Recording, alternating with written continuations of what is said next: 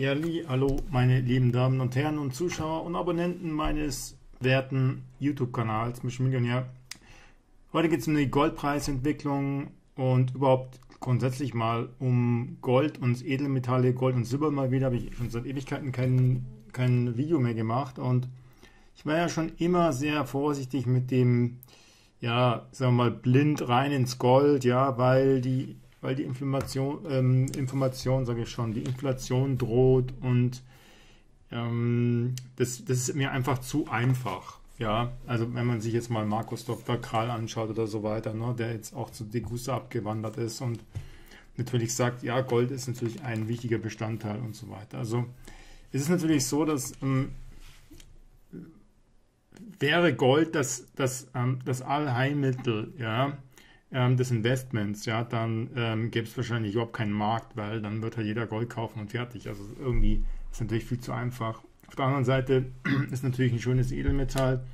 Ich habe mich da immer sehr zurückgehalten, wie gesagt. Ähm, und jetzt scheint es, dass es wieder mal an der Zeit ist, eventuell in den nächsten Tagen, Wochen oder Monaten eventuell mal wieder ein kleines Unzielein zu kaufen, ja, ich kaufe sehr unregelmäßig, muss ich echt wirklich dazu sagen. Und habe aber auch eine Aktie gekauft, äh, unlängst, äh, weil ich nicht hin wusste, äh, was, weil ich nicht genau wusste, okay, was soll ich jetzt machen. Ich hatte ein bisschen zu viel Cash auf meinem Depot und äh, da komme ich dann gleich noch dazu. Das ist die Barrick Gold, ja. Ähm, und ähm, ja, die fällt natürlich aktuell stark und ist natürlich nicht so gut. Aber nochmal uns kurz grundsätzlich zurück zu Gold. Ich würde hier empfehlen, einfach dir auch mal diesen äh, Busler anzugucken von der Aktionär. Ich finde den einfach super authentisch, den Mann. Ähm, hier dieses Video, das unlängst Video, verlinke ich euch hier unten auch nochmal, um es einfach weiter zu verbreiten, weil ich finde den einfach sehr ja, bodenständig. Also das sieht man halt auch nicht so häufig da draußen. Äh, bei diesem ganzen, sagen wir mal, bei diesem ganzen ähm, Börsen, News und, und alles Mögliche und ähm, auf, der, auf der Jagd nach die, den meisten Klicks und so weiter. Ja. Und ähm, ich meine, ich finde, hier in dem Video finde ich ganz lustig, sagt er, ich musste aus meiner privaten Tasche, äh, weil Leute bemängelt hatten, ähm, dass mein Mikrofon, äh, mein Ton hier aus dem Homeoffice schlecht wäre, äh, musste ich meinen eigenen Ton, äh, mein eigenes Mikrofon kaufen und das werde ich dann aber auch gefälligst von der Steuer absetzen. Finde ich sehr sympathisch, ähm, denn uns geht es ja allen auch nicht anders. Ja. Aber auf jeden Fall, ähm, so, so viel besser ist der Ton nicht. Aber okay, äh, nebenbei bemerkt. Also ich verlinke euch das Video hier, finde ich ganz okay soweit. Jetzt gehen wir zu Barrick Gold. Ähm, ja, hier, das wollte ich natürlich nicht zeigen. Hier, okay. Barry Gold, ja. Ähm, ja, jetzt schauen wir mal hier. Ja, mein ähm, ist halt natürlich underperformed. Ich ähm, könnte man sagen, ich Idiot. Ne? Habe natürlich hier ein paar Aktien gekauft, noch äh, vor einem Monat ungefähr. Seitdem sind natürlich gefallen. Aber das Ganze habe ich sozusagen langfristiger, also mir überlegt zu machen. Äh, es gibt da auch immer ein paar Dividenden drauf und so weiter. Ähm, ich hatte einfach irgendwie 5000 Euro übrig und habe es einfach ähm, dann investiert in diese Barrick Gold. Ja, ja ähm, und äh, ich nehme an, dass ich das will auch das, das äh, sozusagen, ja, sagen wir mal, langfristig ich da jetzt keinen Riesenverlust machen werde. Ja. Also schauen wir mal, wo ist hier sozusagen 200 Tageslinie, oh, ja, hm, haben wir gut unterschritten, ist ein toller Abwärtstrend, super geil. Ähm, ist halt natürlich so, dass ähm, man äh, eines bedenken muss bei diesem ganzen Gold und warum ich da schon immer sehr vorsichtig war. Ne? Also auch nicht sonderlich, also ich habe weniger in Gold investiert, sei es Aktien, ETCs, ETFs, physisch irgendwo in, in, bei Edelmetallhändlern, egal wo, ja, du das auch machst. Also ich habe schon immer, sagen wir mal, ungefähr das, das, also sagen wir mal, ungefähr das Ratio 1 zu 2 gehabt, weil einfach Gold in den letzten Jahren immer, sagen wir mal, von diesem Ratio 20 mal mehr, na, was so historisch über die, Hundert, die Jahrhunderte immer so sich eingependelt hat. Ja, Gold ja sozusagen dem Silber davon gelaufen war, na, schon immer. Ähm, also das war so ein kleines Ding. Aber warum ich grundsätzlich bei den Edelmetallen einfach sehr vorsichtig bin, ist natürlich der symbolische Charakter. Und der symbolische Charakter ist natürlich bei Gold noch viel, viel höher als wie jetzt bei Silber oder bei anderen Edelmetallen, die kaum einen jemand auf dem Radar hat, also die große breite Bevölkerung. Ich kann mich, ich kann immer nur wieder an diesen, an diesen Hype äh, vor, ja, wann war das hier, äh, 2012 oder so erinnern. Ähm, schon noch weiter weg, äh, ja hier. Ähm, 2011, äh, wo mich meine Oma sozusagen weggedrückt hat, ja, bei der Bank, weil sie noch schnell irgendwie einen Goldklumpen kaufen wollte, ähm, noch vor zwölf.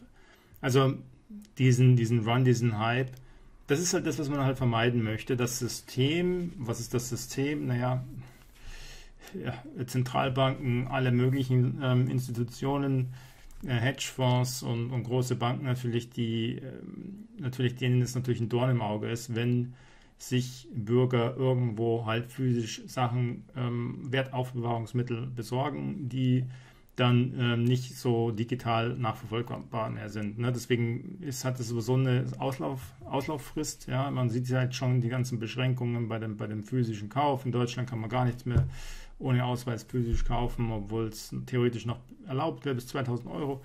Also muss man dann nach Österreich gehen und was da Kuckuck alles. Also deswegen, dieses ganze Edelmetallthema ist für mich eigentlich letztendlich völlig uninteressant auch geworden, mehr oder weniger hier auch Videos drüber zu machen, weil einfach es gar keinen Spaß mehr macht, so richtig, darüber irgendwie Videos zu machen.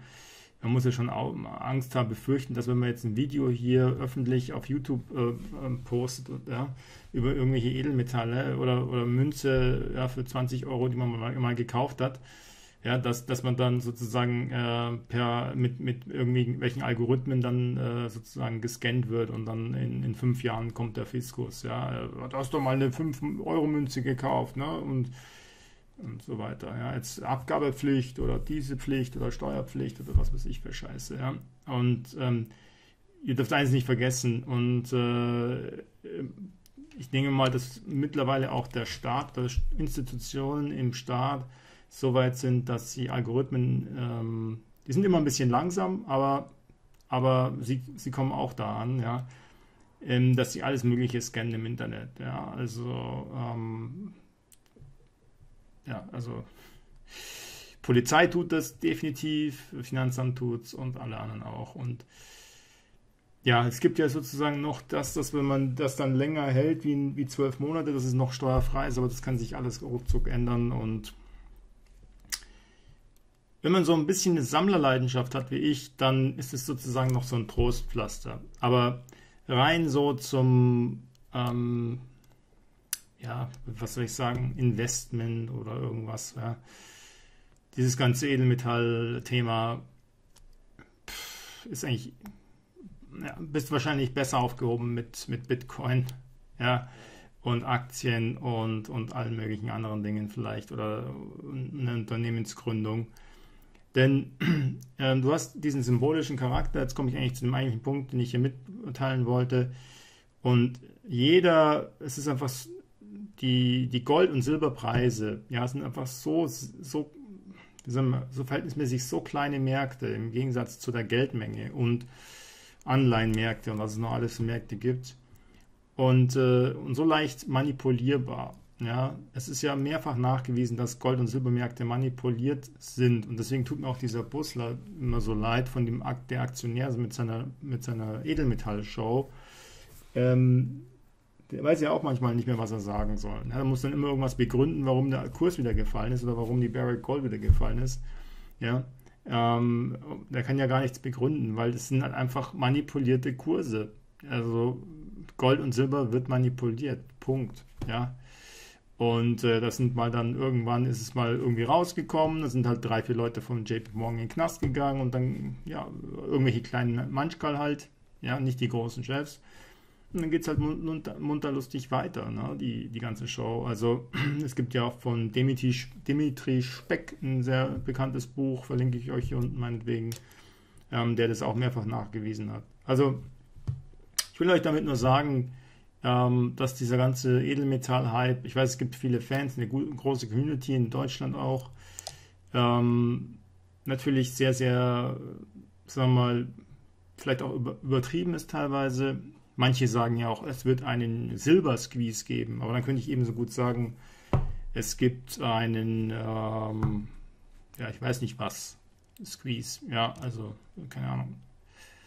Ähm, also darauf würde ich nicht wetten, denn wenn du darauf gewettet hättest, dann sag mal, dann hast du sozusagen in den letzten zehn Jahren einen sehr schlechten Schnitt gemacht. Ähm, es ist halt so ein bisschen eine Streugeschichte, dass du ein bisschen streust und ja, es ist, wie gesagt, ich finde es so, dass man halt immer so irgendwie so ein paar Sachen, vielleicht ein paar Münzen ab und zu verkauft, äh, ver, verschenke ich die Weihnacht, am Weihnachten habe ich ein paar verschenkt. Ja, so 20 Euro, im Wert von 20 Euro oder sowas, ja. Aber dass ich da jetzt irgendwie Investments machen würde und so weiter, na, also industriemäßig überlasse ich den Profis in der Industrie, ja, sammlermäßig, wenn du dich auskennst, überlasse ich den Sammlern in, bei den Sammlern, ja. Aber so für den Normalo da draußen, und darum geht es ja immer, auch bei diesen ganzen Videos und bei diesen ganzen Edelmetallhändler-Videos und Kanälen und mit, dem, mit der riesigen Fangemeinde.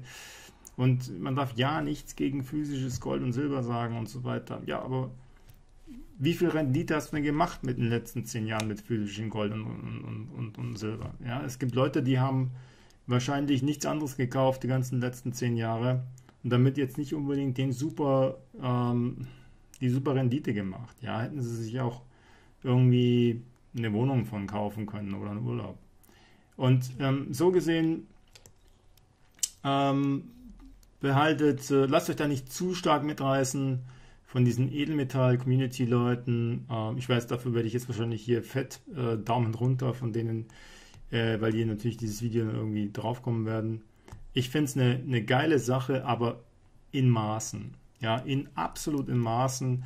Ich würde auch an jedes Aktiendepot, würde ich auch sagen mal, nie mehr wie 5% in irgendwelche Edelmetall- oder Minenaktien reingeben, weil äh, für mich ist es einfach auch eine Welt, die man überhaupt nicht durchschauen kann. Ja, diese ganzen Minenfirmen, ähm, die sind meistens in irgendwelchen Ländern, wo also zu 100% Korruption herrscht. Ja, also diese ganzen Minen da in Südafrika, in Südamerika und so weiter, wo du nie wirklich weißt, was da abgeht. Ja, hast du null Durchblick und äh, also in, in keinster Weise irgendwie vergleichbar mit einer Firma, mit einer Aktie wie, wie Microsoft, Google oder, oder, oder SAP oder sowas. Ja. Und von daher halte ich mich da sehr zurück. Und es hat sich, so wie es aussieht, auch mal wieder ausgezahlt. Also meine Verluste halten sich in Grenzen.